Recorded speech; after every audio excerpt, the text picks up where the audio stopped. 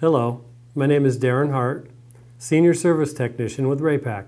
After watching this video, you will be able to navigate the Hydronic Mode 1 installer access level of the Versa IC control interface. We will use a high delta boiler for this overview.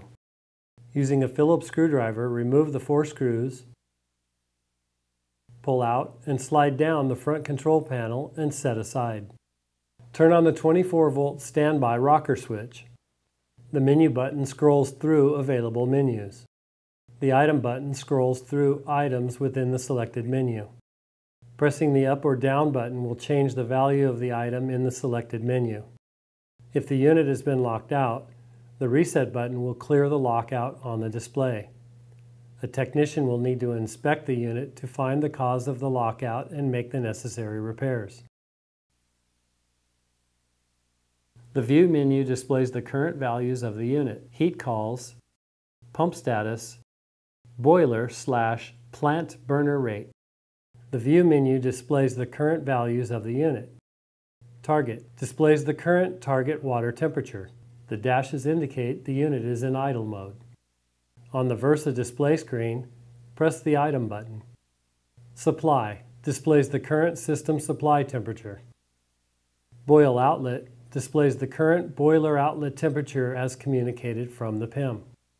Boil inlet displays the current boiler inlet temperature as communicated from the PIM. Boil delta T displays the current temperature difference between the boiler inlet and the boiler outlet. Boiler 1 shows the operation status of the master boiler. Press the menu button to access the Setup Adjust menu. The Setup menu is used to adjust the default settings on your unit. Target, set point, or reset. Target adjustment indicates whether the system will be controlled using a fixed set point or using outdoor air temperature to adjust the system temperature. Set point is for a fixed water temperature at the set point water sensor. Reset is for outdoor air temperature reset of the system temperature using both an air sensor and system water sensor. Mode 1 indicates there is a hydronic heating system without indirect domestic hot water. Set point indicates the desired temperature of the water in the system. Target max is the maximum temperature available to the user, or can be reached when using outdoor air temperature reset. The default temperature is 210 degrees Fahrenheit for the high delta shown, but is different for other Raypak products. Use the up or down arrows to change the target value. Target min is the minimum temperature available to the user or can be reached when using outdoor air temperature reset. The default temperature is 50 degrees Fahrenheit for all Raypak products. Use the up or down arrows to change the target value. Units is used to change the display from Fahrenheit to Celsius. When communication with a BMS, Building Management System, you must enable Modbus port by selecting a value other than off at the Mode Modbus screen. Mode indicates the Modbus operating mode. Off, monitor, temperature control, rate control. Modbus address determines the location of the unit on the Modbus network. Modbus data type default is RTU.